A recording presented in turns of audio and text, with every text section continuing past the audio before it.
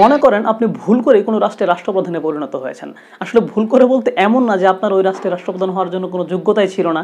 বরং আপনার যোগ্যতা ছিল, তারপরেও হচ্ছে ওই রাষ্ট্রে যারা রাষ্ট্রপ্রধান ছিলেন বা যারা হচ্ছে ওই রাষ্ট্রের হর্তাকর্তা, তারা হচ্ছে এমন একটি বিপদের মধ্যে আছেন বা এমন একটি পরিস্থিতির মধ্যে আছেন, যেই পরিস্থিতিতে ওই দেশের সাধারণ জনগণ তাদের বিরুদ্ধে বিক্ষোভ করছে, আন্দোলন করছে, তাদেরকে ক্ষমতা থেকে হটিয়ে দেওয়ার জন্য। তো এমন একটি অবস্থায় তারা হচ্ছে কোনোভাবেই আন্দোলনটি দমাতে না পেরে তারা হচ্ছে আপনাকে খুঁজে বের করেছেন। কারণ আপনি একটু ডানপিটে, আপনি একটু উগ্র টাইপের মানুষ, তারা বিশ্বাস করছে যে আপনি হয়তো তাদেরকে আন্দোলন থেকে রক্ষা করতে পারবেন এবং তারপর আপনাকে তারা ক্ষমতায় বসেছে এখন ক্ষমতায় বসার পর আপনার প্রথম দায়িত্বটা থাকবে হচ্ছে এই আন্দোলনটি হচ্ছে থামিয়ে দেওয়া। তো আন্দোলন থামানোর জন্য আপনি যদি গোলাবারুদের ব্যবহার করেন তাদের উপর যদি সশস্ত্র বাহিনী নিয়ে চড়াও হন, তাহলে কিন্তু তারা হচ্ছে আরও বড় আন্দোলন ঘটাতে পারে বা বহির্বিশ্বে আপনার একটি ভাবমূর্তি ক্ষুণ্ণ হতে পারে। তো এই জন্য আপনি একটু কৌশলী আচরণ করেন, আপনি নিজস্ব দল গঠন করলেন এবং সেই দলের সহযোগিতায় এই সমস্ত সাধারণ মানুষ যারা আন্দোলনে ছিল, তাদেরকে যারা নেতৃত্ব দিয়েছে, সেই সমস্ত নেতৃত্ব স্থানীয় মানুষজনকে আপনারা ধরে নিয়ে আসলেন ধরে তাদেরকে গুম করে ফেললেন, কাউকে খুন করে ফেললেন। এতে এই সমস্ত সাধারণ মানুষ তারা ছত্রভঙ্গ হয়ে গেল এবং ঐক্যবদ্ধ জোরালো যে বড় আন্দোলন, সেটি তারা ঘটাতে পারল না।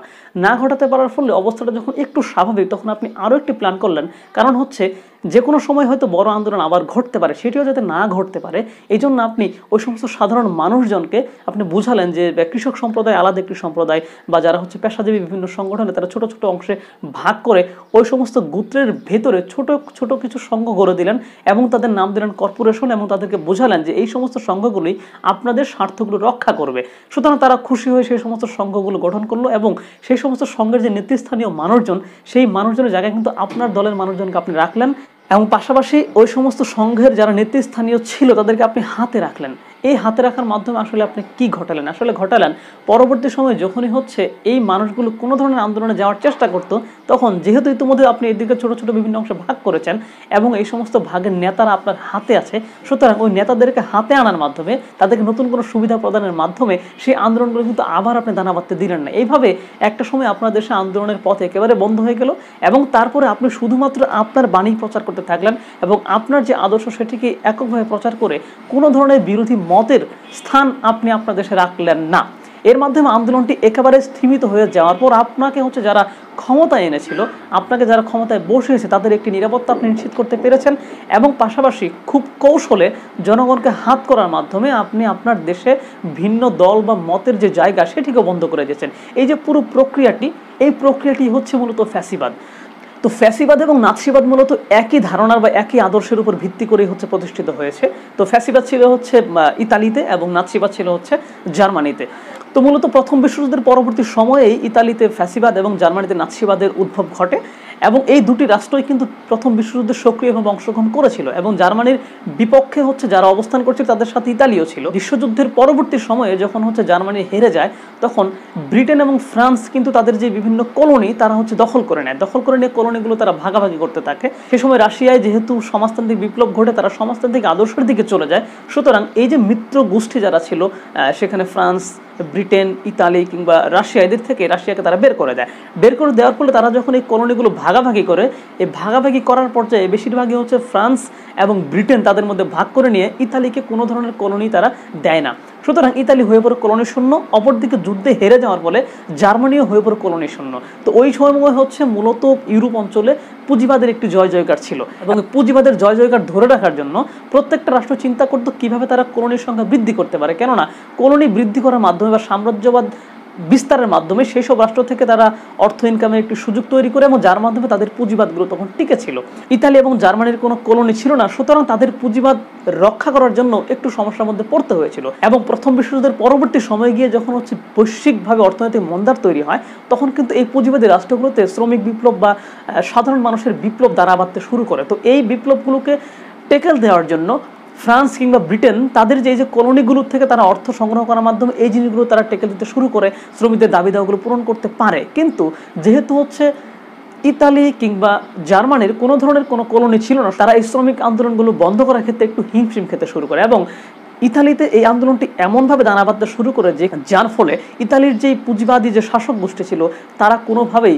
এই জায়গাটিকে বন্ধ করতে না পেরে নিজেদের অস্তিত্ব হারিয়ে ফেলার মতো একটি সংখ্যায় পড়ে যায়। তখন তারা খুঁজে বের করে মুসলিনীকে এবং মুসলিনীকে তারা রাষ্ট্র ক্ষমতা এনে বসায়। মুসলিনী ছিল হচ্ছে একসময় এই শ্রমিকদের নেতা এবং তিনি হচ্ছে আবার শ্রমিকদের থেকে আবার বিতাড়িত হয়েছিলেন এবং তিনি একটু ডানপিট এবং এবং উগ্র মনোভাবের ছিলেন। তাই মুসলিনীকে যখন ক্ষমতায় বসান, তখন মুসলিনীও ঠিক একইভাবে ক্ষমতায় আসার পর তিনি হচ্ছে প্রথমেই একটি দল গঠন করেন, যেটি হলো ফ্যাসিস্ট দল, দলের সহযোগিতায় এই যে বিপুল পরিমাণ আন্দোলন সেই দেশে হচ্ছিল, সেই আন্দোলনকারীদের নেতাদেরকে তিনি ধরে আনেন এবং গুম এবং খুন করার মাধ্যমে সেই আন্দোলনকে স্থিমিত করে দেন এবং পরবর্তী সময়ে গিয়ে যাতে আন্দোলন কোনোভাবেই আর দানা বাঁধতে না পারে, সেই জন্য এই সমস্ত সাধারণ মানুষকে তিনি কৃষক সম্প্রদায়, বিভিন্ন সম্প্রদায় ভাগ ভাগ করে ছোট ছোট কিছু সংঘ করে দিলেন এবং এগুলোর নাম দেন কর্পোরেশন এবং তাদেরকে বলেন যে এই কর্পোরেশনগুলোই তোমাদের স্বার্থগুলো রক্ষা করবে। এবং বর্তমান সময়ে পুরো বিশ্বে কিংবা দেশে যে কোনো জায়গায় যখন আমরা তাকাই, তখন কিন্তু এই ধরনের পেশাজীবী কর্পোরেশন বা সংগঠনগুলো আমরা দেখতে পাই, এদের অস্তিত্ব কিন্তু এখনও রয়েছে।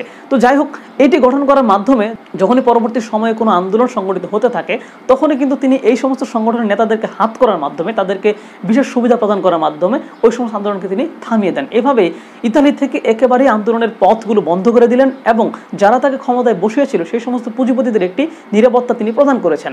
এবং তার পরবর্তীতে তিনি চিন্তা করলেন যে, যেহেতু হচ্ছে আমাদের সে পুঁজিবাদীকে রক্ষা করতে হবে এবং এই পুঁজি বাঁধটাকে যদি রক্ষা করতে চায়, তাহলে আমার কলোনি দরকার। সুতরাং কলোনি যদি করতে চায়, তাহলে আমার একটি সাম্রাজ্যবাদী ভাবধারার প্রকাশ ঘটাতে হবে এবং আশেপাশের রাষ্ট্রগুলোকে আমার দখল করতে হবে।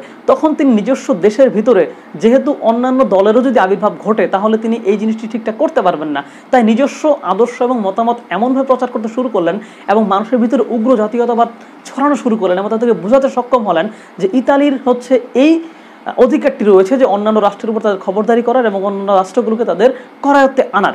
এর মাধ্যমেই পরবর্তী সময়ে তিনি তার পুঁজিবাত্রাকে আরও শক্তিশালী করার জন্য অন্যান্য রাষ্ট্রের উপর তিনি সাম্রাজ্যবাদ বিস্তার করতে শুরু করতে গেলেন এবং যখনই তিনি অন্যান্য রাষ্ট্রগুলোকে দখল করতে গেলেন, তখনই কিন্তু নতুন আরেকটি যুদ্ধের সম্ভাবনা সেখানে তৈরি হয়ে গেল। তো এই হচ্ছে আসলে মুসলিমের কাহিনী ছিল, যিনি হচ্ছে ফ্যাসিবাদ প্রতিষ্ঠার মাধ্যমে কীভাবে আরেকটি যুদ্ধের দিকে নিজেদেরকে নিয়ে যেতেছিলেন তো প্রথম বিশ্বযুদ্ধের পরে ভার্সাই চুক্তির পর জার্মানি যে একদম কোণঠাসার মধ্যে পড়ে যায়, তাদের তখন কোনো কলোনি ছিল না, অর্থনৈতিকভাবে তারা নানা চাপের মধ্যে ছিল।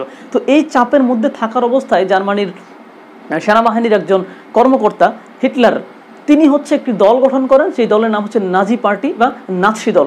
তিনি এই দলের মানুষজনের মাধ্যমে তিনি উগ্র জাতীয়তাবাদের চর্চা করতেন এবং তারা হচ্ছে ব্যাপক উগ্রতার ছড়ানোর পক্ষপাতী ছিলেন।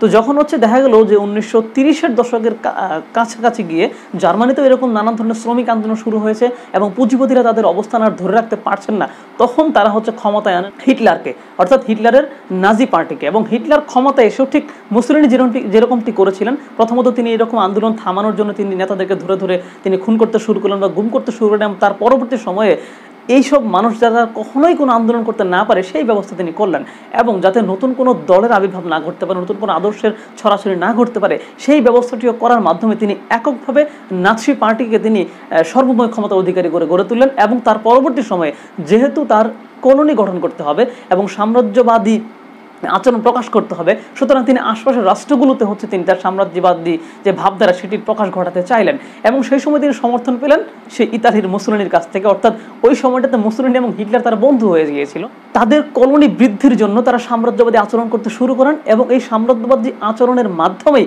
তারা হচ্ছে যুদ্ধে জড়িয়ে যান এবং তারপরে কিন্তু দ্বিতীয় বিশ্বযুদ্ধের মতো বিরাট ঘটনাটি ঘটে।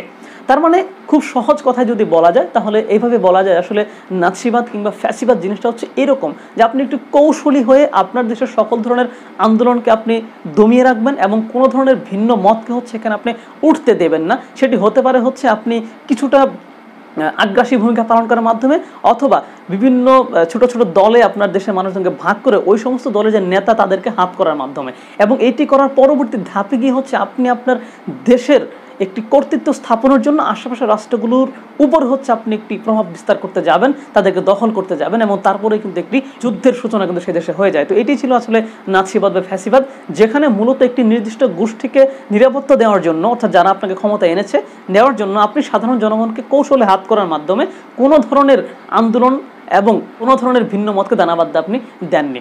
তো এখন আপনি প্রশ্ন করতে পারেন যে আসলে এই যে ফ্যাসিবাদ কিংবা সামরিক শাসন কিংবা স্বৈর শাসন, এইসব সরকারের ভিতরে আসলে বেসিক পার্থক্যটি কোথায়? সবাই তো আসলে এই ধরনের কাজই করে। আসলে বেসিক পার্থক্য বলতে তেমন কিছু নেই। এই প্রত্যেকটা রাষ্ট্রই কিন্তু তাদের যে নিজস্ব আদর্শ, ওইসব সরকার প্রধান কি করতে চায়, সেটি কিন্তু যে কোনো মূল্যে বাস্তবায়ন করার জন্য চেষ্টা করে থাকেন।